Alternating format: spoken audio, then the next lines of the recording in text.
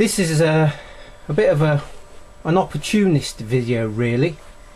It's about solar farms and scale. I just had the opportunity to turn up at this uh, where they were installing this solar farm and uh, I just thought let's go for it. Uh, you can't beat just cracking on there and then but the problem is we've got some wind and uh, not personally but in the video and so therefore occasionally and I've had to uh, edit bits out and um, reduce the volume in places but you're going to get some annoying wind. So there you go that's just life. And we've got uh, an interview with Mark Kaywood there. He's just telling us about the inverters. There are eight inverters on this 170 kilowatt um, uh, farm and I'll just change that image because he looks a bit better there. And um, about 600 to 700 volts per string. So 20 odd to 23 panels per string. Um, a string is a panels all in series. So you imagine you could have um, a string of 20 panels and then you could parallel that up with another string of 20 panels. So there's eight inverters each inverter being 20 kilowatts and there are two uh, tracking systems per uh, inverter. So therefore each tracking part of the inverter will handle 10 kilowatts. So there are four panels to the kilowatt. So effectively we're talking 40 panels per maximum power point tracker and 80 panels per inverter. Nominal approximately. Anyway we've got quite a few interesting things. There's a bit of old technology and new technology there. And then further on further on we've got some views of let's see if I can get this here. A different system much bigger. A lot lot bigger. Outrageously bigger. And this by the way is an attempt to cut the the wind down. But when you're zoomed right out um, it's not very effective because it gets in view. But go zoom in and it gets rid of it. So and then right towards the end we've got state the obvious. Home power. Yeah being independent as much as possible um, looking after yourself. So hopefully you'll enjoy this video. Uh, the wind in various places especially when unfortunately uh, when Mark was doing his interview. Let's try to find a better one. How come there you go. Um, yeah the wind just picked up and got in the camera a bit. So hopefully just show a bit of forbearance on that one. Because the general thing is, is all very interesting. The fact that there's no concrete um, all the uh, all the, the frames are based on screw thread ground anchors which of course are reversible. You can take it all apart wind them out the ground and go and put them somewhere else. So anyway on with the video. I'm just sat in the car here trying to keep the wind out the camera. Handheld again so wobbly camera. But let's have a look over there.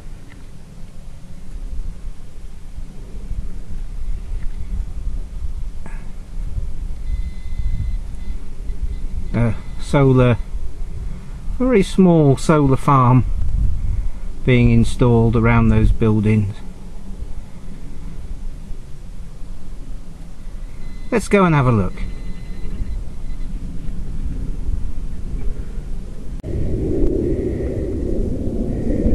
So here we are. I'm just going to stop a minute because we've got aeroplane interference. Nice open site, ideal for a small solar system. I believe it's about 170 kilowatts the wind is uh, variable today so we're going to get some wind noise in the camera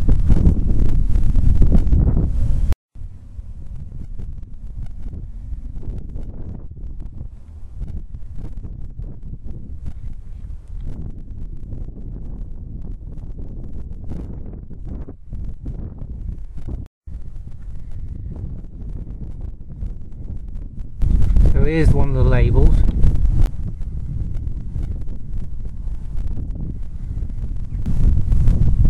Thirty volt nominal, two fifty watts.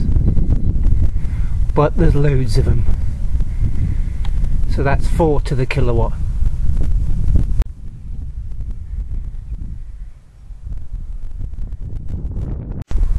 And it's a different view. One, two, and the wind gets in the camera. And there's some more the other side. And there's the AC conduit. And the inverter will go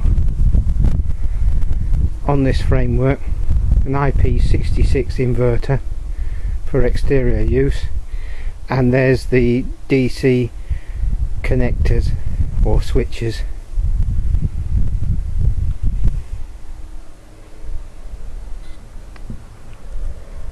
as I was saying this is relatively small and it'll have quite a low impact visually.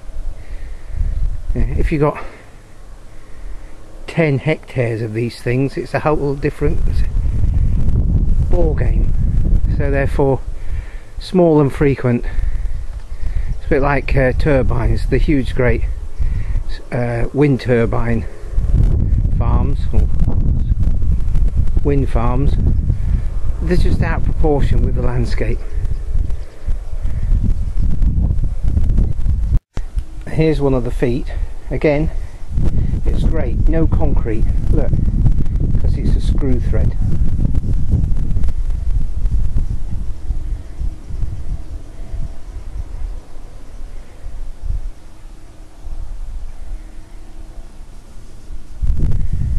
And there's it in place. And here's the cable. It looks about three inches in diameter and the cable goes off to a new supply. Just tell me about those inverters, can you, Mark? The inverters, it's a, well, the system is 170 kilowatt system, and we're using eight SMA 20,000 TL inverters. Each inverter has four strings. Each string has between 21 and 23 250 watt SolarWorld panels. Um, voltage open circuit of uh, each um, panel is around about 37.8 volts. So we're in the region of 600 to 700 volts each string and about 8.9 amps. Um, each inverter has uh, dual tracking uh, ability, so it's 2 MPPs per, per inverter um, and they're all web connect enabled to allow um, communication directly back to the SMA Sunny Portal. Brilliant. And what's the total output of the? Uh, it's a 170 kilowatt array. Yeah. And how many panels? 680 SolarWorld 250 watt panels.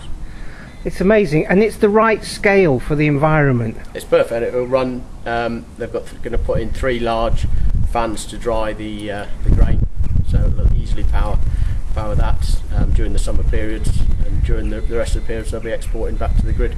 Yeah, and it's it's like some of the other the some of the other solar farms.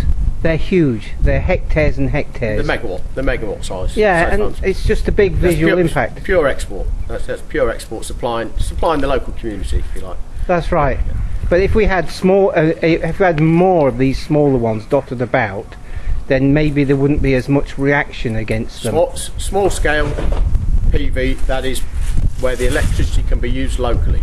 So particularly, uh, okay, small farmyards where perhaps 100, 150, 200 kilowatts, and then the same on large commercial buildings. So large commercial users with large buildings, 100, 200 kilowatts used locally. That's where the PV should be put. Perfect, yeah.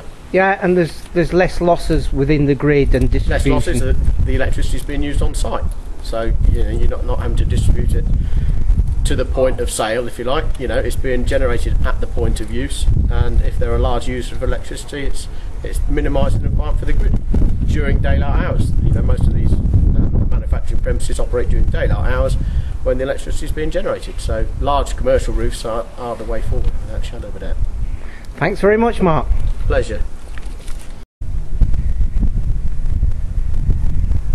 And there's the new transformer.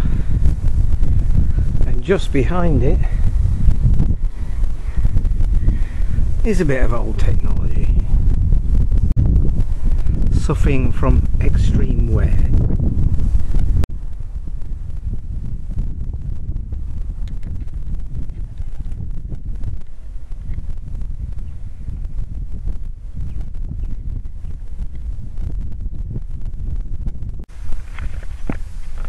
Just look here. See those? Right. And it goes on and on and on and on to there. Just, so if you notice, it's in the flat area. So it's not as intrusive as if it was on a valley side or in rolling countryside where you could view its entirety. But let's go around the other side and have a look closer look.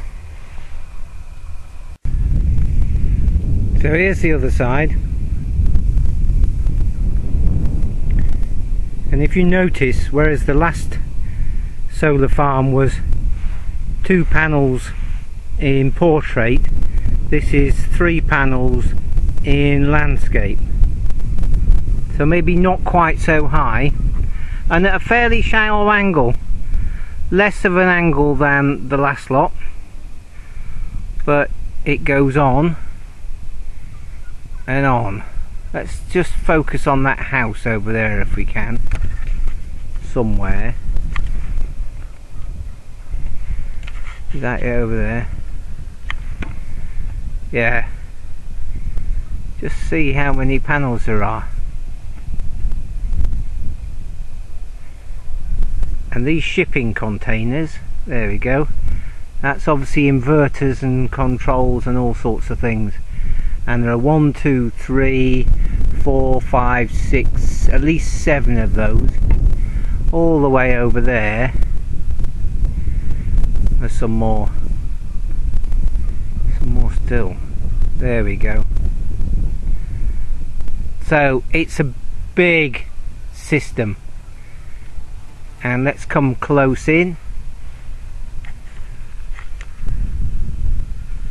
And of course it's fenced.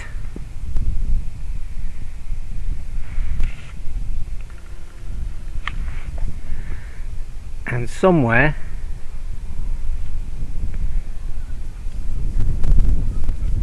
on that post, that big post there, what have we got? Security cameras. So the more panels you've got,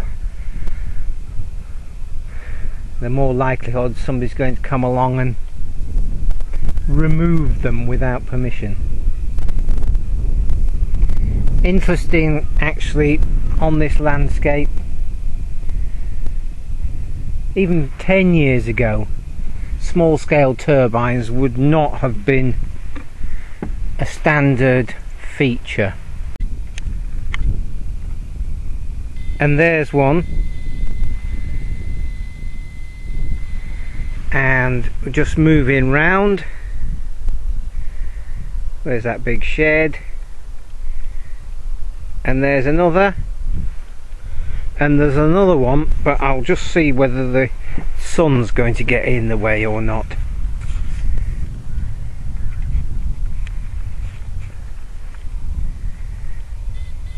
And there's another. So where I'm standing I can see at least three.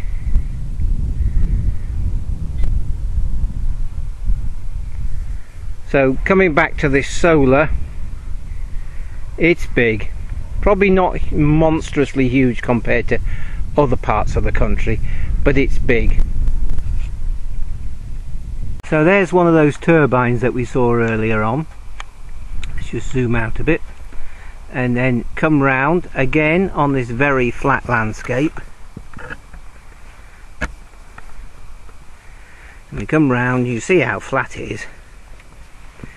Now, this is slightly different. And uh, to quote Douglas Adams, uh, indirectly really, to counterpoint the surrealism of the underlying metaphor, here's somebody who really believes in just looking after yourself, taking responsibility for yourself. There we've got what looks like solar panels on the shed